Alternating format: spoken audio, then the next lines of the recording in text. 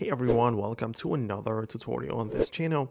This time the question is how to delete messages app on your iPhone. Now obviously it's not the regular app which you can just like remove, but there are some workarounds and things you can do as well.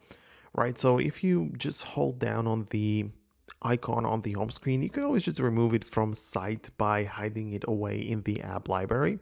That's kind of obvious. But what you can also do is to hold down on it and click on require face ID. So when you do that, you essentially lock the application so no one except for you can access it. But when you do that, you might as well choose to hide and require face ID.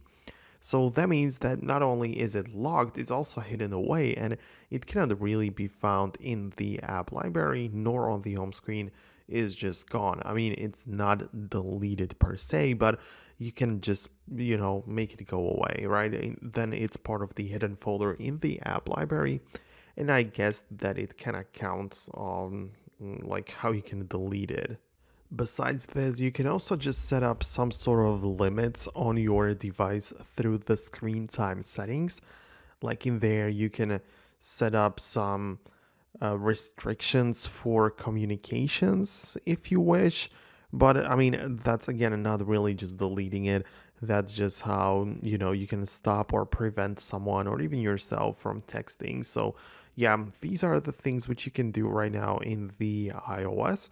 Uh, let me know below if you managed to get it to work or if you want to see something else. Go ahead and let me know down below in the comments. Thanks a lot for watching and I'll see you in the next video.